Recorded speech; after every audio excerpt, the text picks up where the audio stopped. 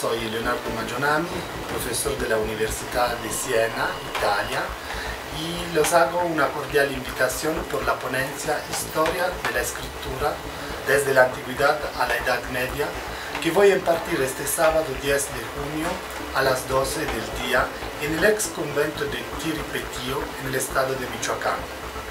Los espero cordialmente.